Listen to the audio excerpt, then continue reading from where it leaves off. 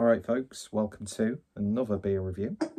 And today, uh, it's been a little while, uh, or should that be a wee while, since I went over to Overtone, and that was a rarely camp uh, introduction. But uh, yeah, not had anything from Overtone for a wee while. And uh, this is a can of the Talusman 6% ABV IPA. So, uh, a simple IPA with intense aromas and flavours, strong citrus, floral and woody flavours with notes of oak, coconut and pine. So this is an IPA brewed with Citra and Talus, one of those sort of like hops of the moment for a lot of people. And uh, picked this up from Northern Beer Temple in Wigan. God, that was the first time I've been to the Northern Beer Temple uh, since like before lockdown began. So yeah, definitely dropped the ball in supporting local uh, over the past 18 months. So I've got a lot of uh, making up to do. But I uh, yeah, picked a few nice beers up, in, including some Cloudwater, because again, a brewery I've not really drank much of for a good while, even though I'm, you know, brewing some of the best IPAs in the country. But yeah, so as per usual of Overtone, it's got that sort of like underground rave techno night artwork you'd find fly posted under railway arches and big walls.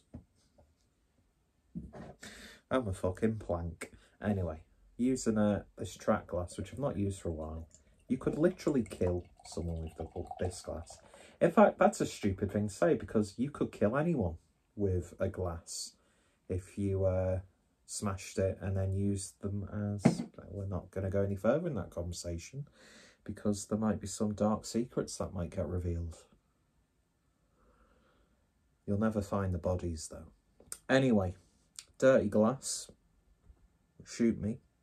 And doesn't that look, well, it looks a bit skewed. It looks wonky for some reason, but that's a lovely looking pour there, I do have to say. And it's a beautiful looking beer.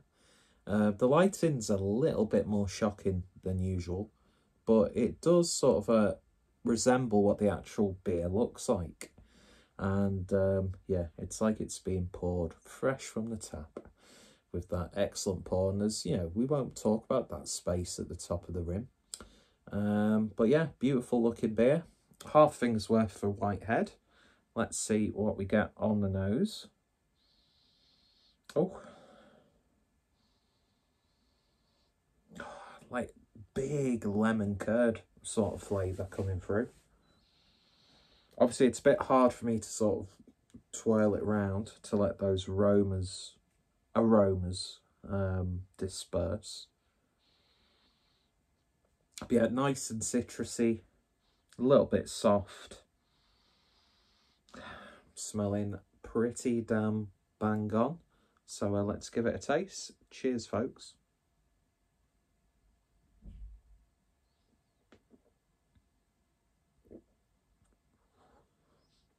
Oh my word. Oh, that's, that's really good.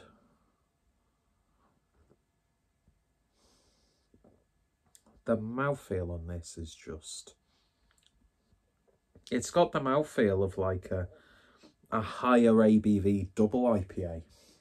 Just so creamy and glossy. It's got beautiful texture to it. It's just so soft.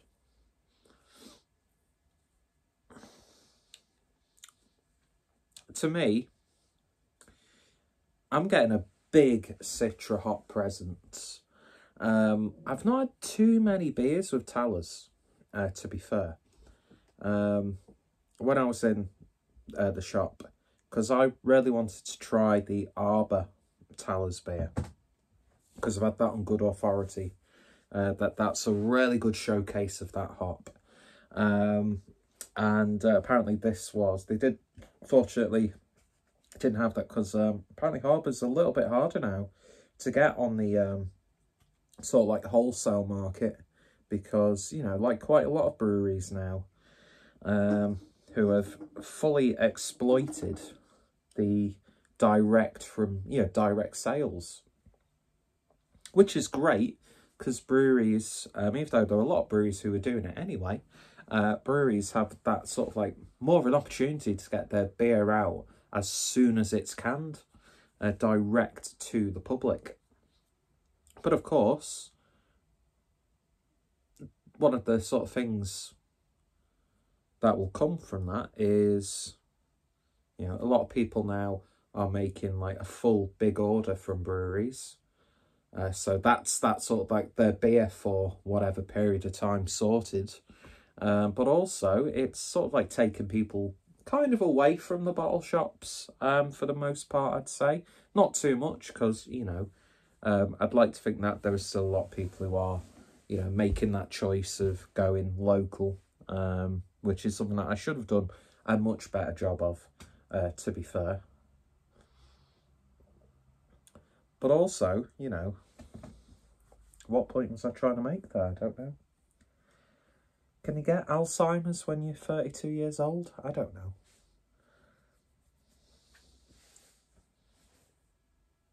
Don't judge me. Jack's always... Hmm, we're not going to get into it.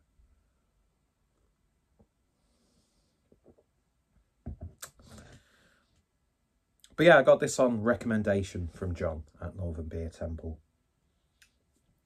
And uh, I tell you what, this is just a lovely, drinkable, flavoursome IPA. There's a slight floral, like coconut character on the back end. It sort of reminds me of something like one of the, um, sort of like a, a body butter or a hand cream that you get from a place like Body Shop. By the way, the Body Shop's grapefruit hand cream is wonderful. And uh, and their body butter and body yogurt, I should say, um, is one of the main reasons why I'm a 32 year old who looks like he's still in his early 20s. Um, it's just a shame he's got the uh, the beer gut of a man in his 60s, but we won't dwell on that. Um, not on camera anyway. I'll just have a I'll have a misery wank a little bit later on. It's fine especially now my football bet's not coming in. But hey, what yeah, that's what Saturdays are all about, isn't it? Really. I'm lonely, but um, yeah, it's just nice and soft and balanced, but flavoursome at the same time. I don't fully know, hence the name Clueless Drinker, um, what you are supposed to expect from the Talus hop. I've heard it is a little bit similar or not too far removed from something like Sabro. And the reason why I'm saying that is because I am getting a slight Sabro-like character with this. And I really, really enjoy Sabro. Um, but I'll tell you what, the, the use of Citra in this hop is just wonderful. Um, they must have got a really good crop of Citra because it's all those characteristics of Citra that I absolutely love, and that's probably the reason why it's one of my all-time favourite hops. But um, yeah, Overtone just, just not just knocking it out the park, but absolutely twatting it out of the park with a steel rod mind you, you can get steel baseball bats anyway, can't you? So, are they? Can see? I'm not. I'm not. I'm not. As you can clearly tell, I'm not a sporty person. Um, the only Jim I know is someone called Jim. Quite frankly. Yeah, I thought that was actually quite a clever joke. Shut up, Jack. But um, and I've spilt it on the floor now. Fix your nose. But, um, see, I was talking about gyms and I got distracted because I'm doing, I keep doing this bit where I talk to a fucking, it, it's not even like a like a print that I've bought. This was actually taken from a copy of Sight and Sound magazine, and I just thought I'd put it in a frame because Chinatown's a really good film, even though it's directed by Roman Polanski. But um, gyms. Why was I talking about gyms? And there was a, a dog that sounded like it was squealing in a bit of pain. It's always good while you're doing a beer review. Um, but whatever I was trying to say, I'm going to completely move away from that and just say that this is an absolutely banging IPA uh, once again from Overtone, who very seldom disappoint, especially when it comes to their IPAs and pales and doubles and triples. Um, some of the stouts, when they hit it, they hit it well. Um, oh, that's what, speaking of hitting, I was talking about um, baseball, wasn't I? I don't know American sports. I don't know many British sports. Um, but uh, when, like, proper baseball, I'm not, like, talking, like, minor league baseball. I'm talking, like, major league baseball. Is it called major league? Or is that major league basketball? Or is that just American minor league, major league, and then you've got the college and that sort of stuff? Um, did I use steel? Basically, what I was just in around. Now Marilyn Chambers is giving me the fuck eyes. I can't win. Absolutely can't win. Um, that should have been fuck me eyes. And why would that be a negative thing? I don't know. I'm, I'm, I'm probably mentally ill, to be honest. But um, yeah, basically, four minutes later, um, do profession like the top tier of baseball? Do they use metal or just wooden bats, or a metal bats just like used by folks who have them hidden under the bed or underneath the pillow? Which, by the way, you've got to have really considerable pillows if you're able to sleep comfortably with either a firearm or a baseball bat underneath your pillow. And if what pillows are you sleeping on, by the way? Because that would just be heaven. But um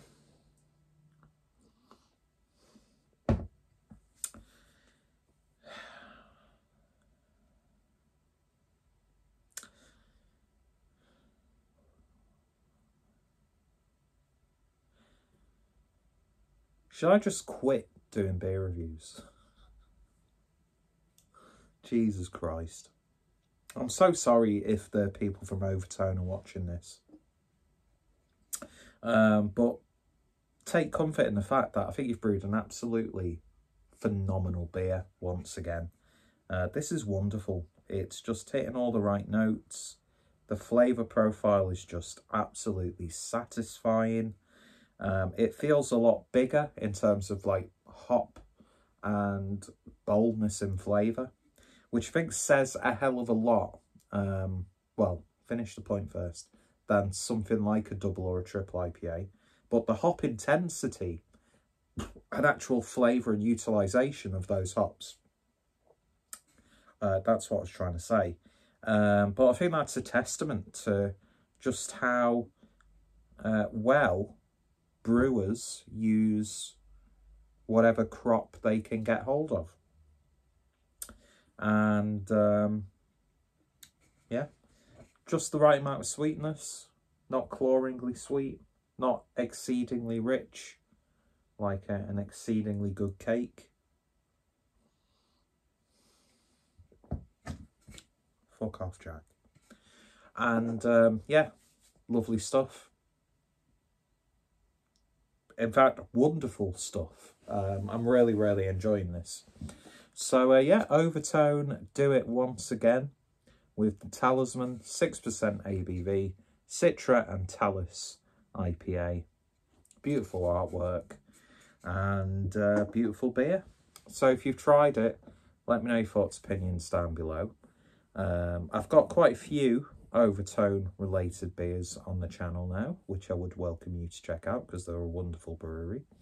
I just wish they did more of those like coffee IPAs, uh, which was supposed to be a series, but I've only ever seen one of them because um, I think coffee and IPA is just beautiful. Coffee and beer in general is, you know, always a winner. But alas, I shall end this video here. Go check out Overtone. If you live in the Wigan area or the surrounding areas of Wigan uh, and you find yourself in Wigan or you're passing through Wigan, uh, then definitely uh, go check out the Northern Beer Temple. Uh, you can either do a click and collect order online, um, but John is still, um,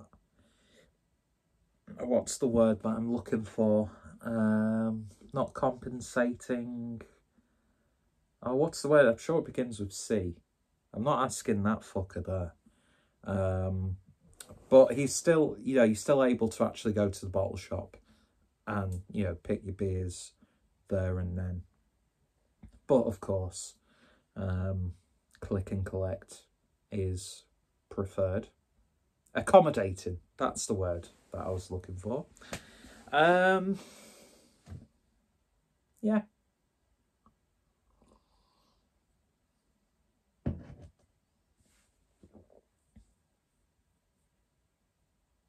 Bye. And see you next time. I don't know why I do it for these fuckers. No, they don't. I could make loads of money off this, but no, they're all tight-fisted, aren't they? I'm like, where's all these free beers? Oh, I've turned it off. It's fine yeah, all these breweries are like sending out free beers. It's like, what, do I have to be prominent on Instagram to be relevant in this industry? I don't know. Oh shit.